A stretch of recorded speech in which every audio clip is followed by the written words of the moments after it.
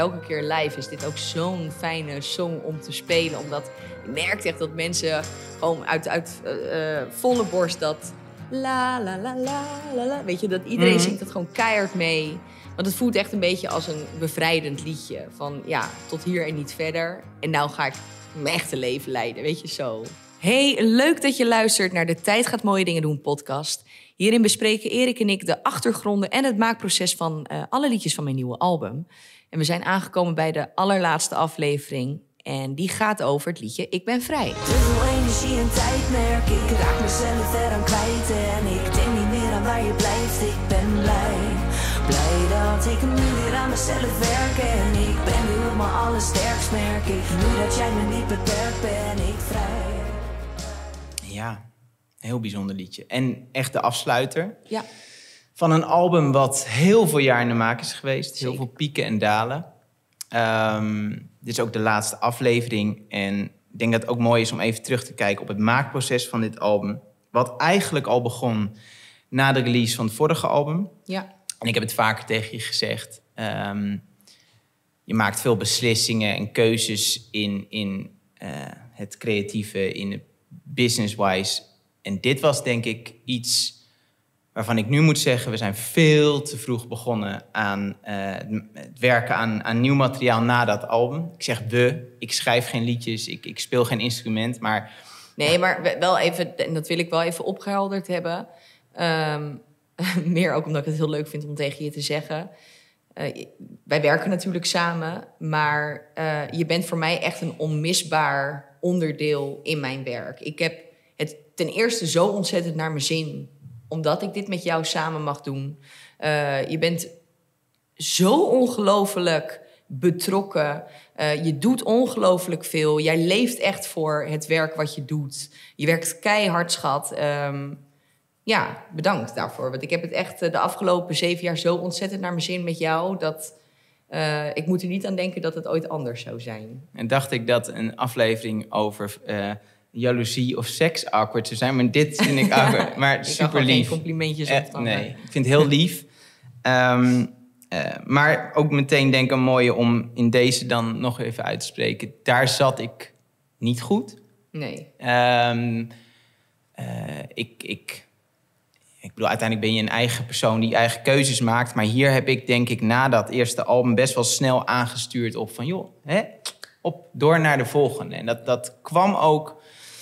Dus ook een soort onzekerheid. Wij hadden natuurlijk een hele mooie... eh, sowieso zei ik, zegde, zei ik mijn baan op om dit samen te gaan doen. Op een moment wat eerder was dan we... Hè, we hadden meer zo'n soort van plan om ooit samen te gaan werken. Dat Ja. ging een stroomversnelling na een miskraam, na wel een zwangerschap. Heel veel eh, shit in de, in de privésfeer. Toen zijn we samen gaan werken, een soort van noodgedwongen. Het was niet meer te doen. Ik ochtends om acht uur naar kantoor, jij s'avonds om acht uur de deur uit voor shows. Toen kwam het album uit en al vrij snel daarna ehm, moesten we eigenlijk stoppen weer met werken. Op, op 5 mei stond jij met meer dan 100 kilo, zo'n buik, zulke enkels, bij 30 graden op het bevrijdingsfestival Utrecht voor 10.000 man. Ik stond met een paraplu boven je hoofd om nog iets te koelen met de kennis van nu totaal... Niet, op, niet op het podium natuurlijk. Nee, maar, had ja, eigenlijk gemoeten. had het was gemoeten. echt onverantwoord Ja. misschien wel. Je was heel hoog zwanger, want 10 juli eh, ben je bevallen. Ja. En, ehm, maar goed, alles was nieuw voor ons. Maar die show deed nog wel, maar de, de 30, Nou ja, 40 shows die dat. kwamen... hebben we allemaal gecanceld. Alles moeten Ehm, cancelen. en in plaats van dat je na de bevalling, hè, de- nou ja, hoeveel maanden en dan langzaam weer, eh, raakte jij in een hele diepe depressie. Je zat heel diep, anderhalf jaar.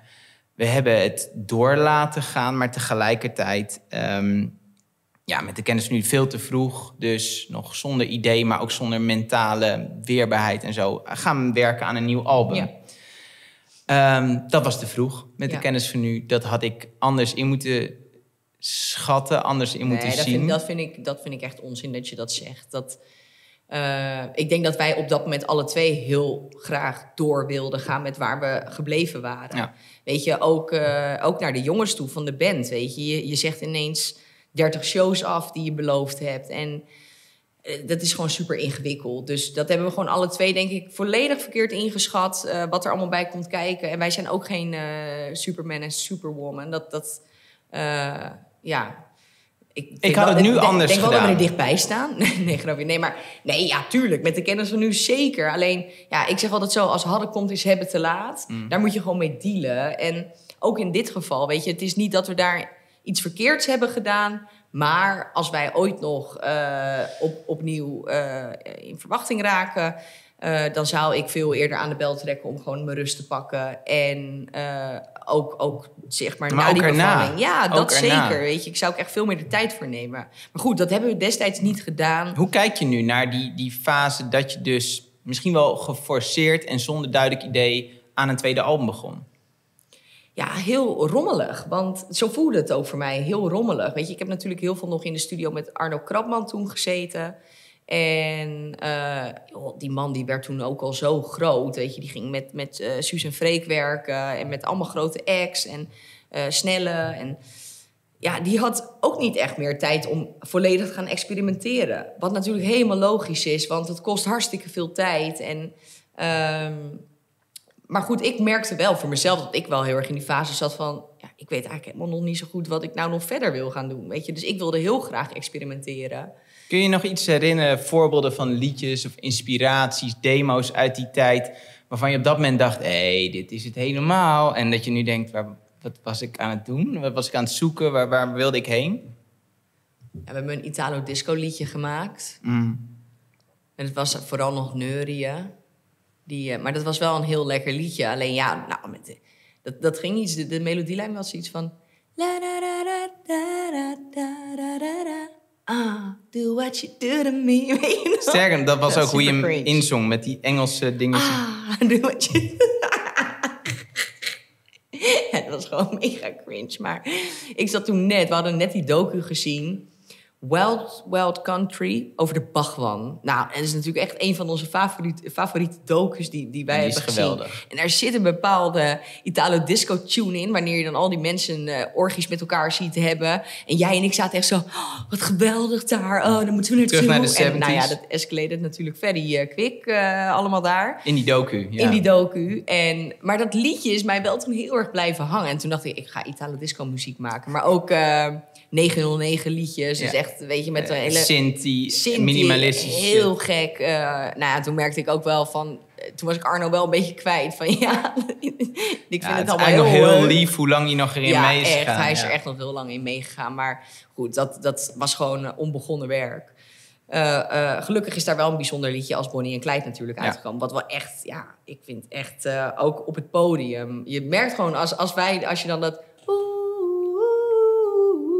Nog steeds. Dan hoor je mensen Altijd. helemaal, ja, weet je dat van, oh, ze gaan hem spelen, superleuk. Dus ja, Ja. Er, is wel, er zijn wel goede dingen uitgekomen. Kun je, kun je al met al zeggen dat dit inderdaad, hè, dat zeggen ze vaak, die moeilijke tweede. Dus hè, een, een Mhm. debuutalbum is relatief makkelijk, want niemand heeft nog verwachtingen. Ja, Je hebt oneindig tijd om eraan te werken, want niemand zit erop te wachten, want niemand weet nog dat je met een album komt. ja, ja, ja. En dan zeggen ze vaak, en dan is dat een succes of niet, hè, dat kan natuurlijk ook. En dan moet je aan die moeilijke tweede beginnen, waar mensen wel verwachtingen van hebben, waar ze op zitten te wachten, waar Ja. dus een soort druk achter zit. Ja, is dit die moeilijke tweede geworden? Tuurlijk, uiteindelijk wel. Eh, kijk, wat ik in een paar afleveringen terug ook al zei. Je wil gewoon dat dit album eh, ja, net zo goed of wel beter gaat worden. Alleen dat is ook gewoon ergens wel een beetje oneerlijk. Want ja, het voelt voor mij echt wel alsof je je kinderen gaat vergelijken... en gewoon zegt, ja, de ene is gewoon echt tantoe lelijk... en de andere ziet er best wel leuk uit. Dus dat moet je gewoon niet, niet willen doen. Weet je, ik heb gewoon weer nu tijdens dit proces in de studio alleen maar gemaakt wat ik heel leuk vind. Ja. Heel echt egoïstisch. alleen maar ja, heel egoïstisch gedacht. En ja, weet je, daar, eh, ik denk ook echt wel dat, dat ik een eigen niche heb opgebouwd als het gaat om muziek en, en wie ik ben. Kijk je jaloers naar mensen die in dat kielzog Nederlandstalige popmuziek zijn gaan maken en misschien op bepaalde vlakken jou voorbij zijn gegaan? Nou, niet per se jaloers, want dat zit dus niet zo. Daarvoor denk ik ook niet dat ik heel erg geschikt was voor dat hele volkscircuit waar ik natuurlijk Wat heel heel competitief is. heel competitief en eh, iedereen doet vrij aardig in elkaars gezicht. En dan eh, op het moment dat iemand Mes wegloopt, is het echt gewoon een mes in je rug. En gadverdam, dit en dat. Nou, ik ben daar gewoon niet voor gemaakt. Want what you see is what you get, denk ik. Ehm, dus ook in dit geval, nee, ik ken geen jaloezie. Maar waar we het ook al hiervoor een keertje over hebben gehad. Van, ik weet natuurlijk wel, eh, ik ben niet meer het snoepje van de week, snap je? Het is, ehm, eh, ik ben inmiddels de 30 voorbij. Als in, ik ben 30, laat ik het zo zeggen. En eh, je, wordt gewoon ingehaald door de nieuwe generatie. Maar dat is toch ook iets heel moois, weet je? Ik, ik, kijk, ik zeg altijd zo... ehm, als ik echt grote hits of wat dan ook zou willen hebben... dan zou ik me daar ook een beetje naar moeten gedragen. En dat bedoel ik vooral echt dus op de hoeveelheid werk die ik hierin steek. Ik heb een hele duidelijke keuze gemaakt. En soms gaan we die grens even voorbij, omdat het gewoon niet anders kan. Maar ik wil in principe niet vaker dan drie keer per week werken. Want ik wil vooral heel veel moeder kunnen zijn.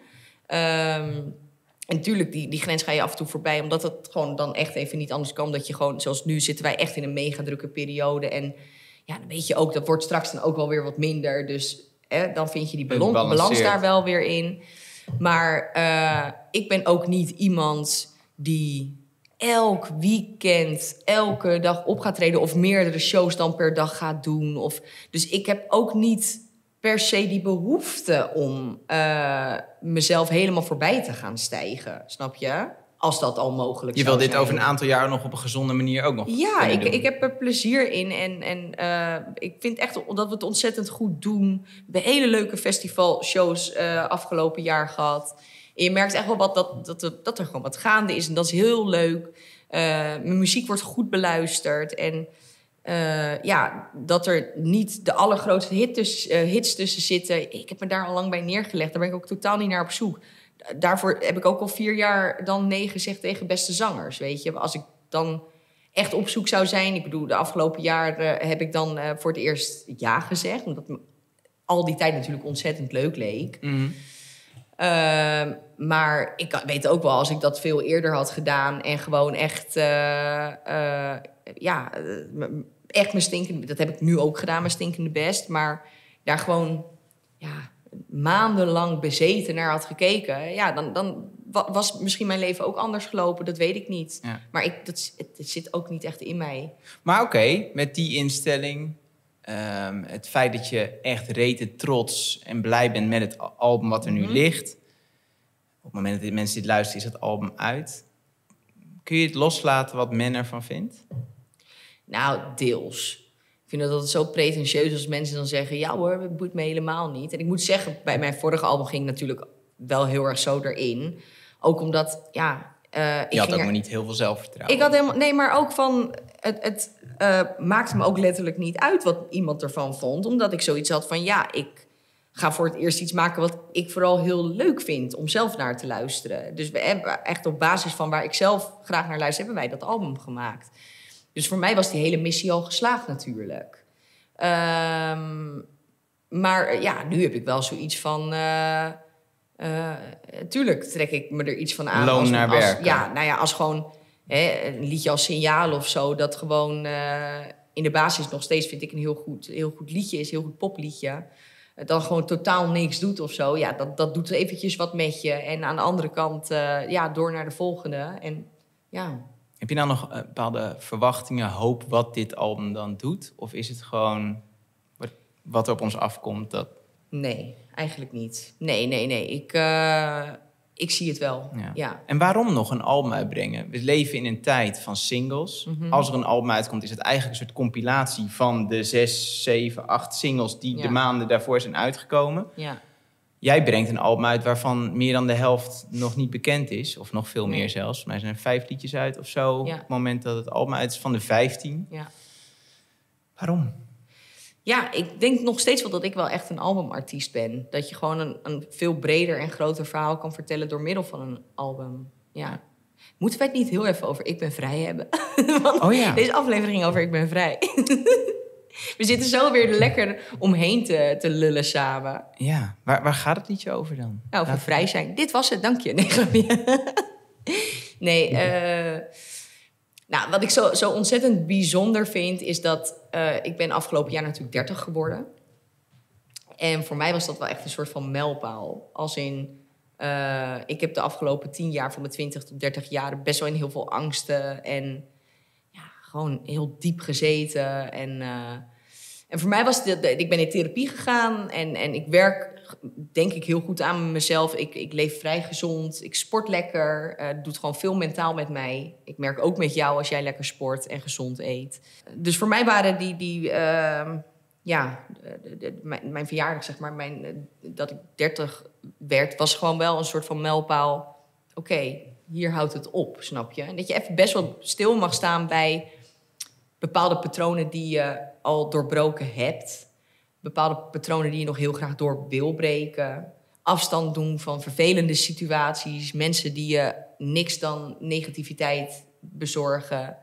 Ehm, en daar gaat voor mij eigenlijk dat liedje heel erg over. Over dat, ja, die duidelijke scheidingslijn tussen die oude versie van mij en die nieuwe versie. En dat dat best wel gevierd mag worden. Van ja, um, ik ben gewoon ontzettend trots op de keuzes die ik de afgelopen jaren heb gemaakt. En um, ik, ik ken veel verhalen vanuit mijn publiek ook. En ik weet waar zij doorheen gaan. En daarvoor denk ik ook dat dit elke keer live is. Dit ook zo'n fijne song om te spelen. Omdat je merkt echt dat mensen gewoon uit, uit uh, volle borst dat... La, la, la, la, la, Weet je, dat iedereen mm zingt het gewoon keihard mee. Want het voelt echt een beetje als een bevrijdend liedje. Van ja, tot hier en niet verder. En nou ga ik mijn echte leven leiden, weet je zo. En ben je ook, ook vrij van je muzikale verleden? Hè? Dat is, laten we wel wezen, we hebben zes jaar lang echt heel bewust een richting gekozen mhm. die zeker commercieel niet het meest interessant was. Eh, zeker niet het makkelijkst was. Uh, dat mensen zelfs wel riepen, ja, misschien moet je je achternaam laten vallen. Nou, je hebt al vaak genoeg uitgelegd waarom je dat onzin vindt. Maar ehm, ben je muzikaal nu vrij voor je gevoel van wat je tien jaar hebt gedaan, die vorige carrière? Tuurlijk. Ja, en tegelijkertijd, weet je, ik weet nog dat ik het eerste album inging. En toen het album uitkwam, werd er best wel gezegd van uh, de Nederlandse versie van Lana, Lana Del Rey. En uh, oh, dat is het zuchtmeisje. Nou, ik mm. vond een grote compliment kon ik niet krijgen. Mm. Want Lana heeft een best wel kleine stem, heel veel hijgjes, kreuntjes, dit en dat. En ik wilde natuurlijk vooral niet op mijn vader lijken op dat vorige album. Weet je? Dus ik wilde vooral die, die heftige vibratie. En dat is denk ik ook helemaal terug. Het laatste liedje van het vorige album. Uh, nooit echt meer live hebben gespeeld. Dat knipoog nog wel heel dat erg was nog dat. even, En dat heb ik ook altijd gezegd. Dit is nog eventjes een soort van ode aan, aan mijn vader. En het ik heb het niet voor hem geschreven, maar ik heb wel met de gedachte... stel dat hij nu nog zou leven hoe zou zo'n liedje, als hij een liedje voor mij zou schrijven, hoe zou dat dan klinken? En met die gedachte heb ik dat liedje gemaakt. En dat heb ik ook vrij snel uit de set gehaald. Die hebben we denk ik een jaar, twee jaar gespeeld. En toen is dat, is dat, was dat mooi geweest. Ehm, maar ik heb nou ook niet meer dat ik zo obsessief dat niet meer wil doen. Want uh, ik, ik, heb een goede vibratie in mijn stem en die kan je ook laten horen. Ik kan lekker belten, net zoals mijn vader, dat kon goed hard zingen. En dat wil je gewoon af en toe ook even laten horen. Weet je, dus dat is wel ook heel bijzonder. Dat je daar ook niet meer zo ja, spastisch over bent. En nu ga je je album uitbrengen, of het is uit als mensen dit horen. Ja. Je gaat het vieren en dan is het er. Ja, exciting. Gaan We het, gaan we het, waar gaan we voor het eerst even gewoon luisteren?